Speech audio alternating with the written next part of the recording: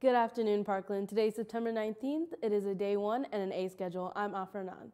The first multicultural leadership meeting will be held on Monday, September 23rd, after school in room E104. Dungeons and Dragons Club will have their first meeting on Wednesday, September 18th in the cafeteria. All that are interested may attend.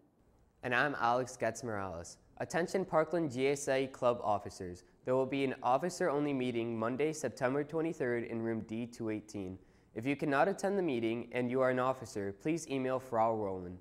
The Child Development Club will hold our first meeting Thursday, September 26th.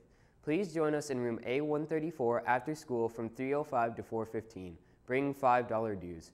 Join Parkland's Scholastic Scrimmage Team for an informational meeting on Monday, September 23rd or Wednesday, September 25th after school in C200 to find out more. The first Red Cross meeting for all members will be held on September 24th after school in B208. The library will be closed today after school. Key Club will have its first Minithon fundraising event this weekend, Saturday, September 21st. There will be a car wash at Applebee's and all proceeds will fund the Minithon this year. Make sure to spread the word and sign up for volunteer hours. There will be a Spanish club meeting in D123 after school at 3.05. Attention all those interested in ski and snowboard club. There will be an informational meeting next Thursday, September 26th before school at 7.15 and after school at 3 o'clock in A128. Anyone interested in trying out for Science Olympiad should attend the interest meeting on Friday, September 20th in room D116 after school. The Parkland Physics Club will hold its first meeting this Thursday after school in room C147. Officers will be nominated at this meeting.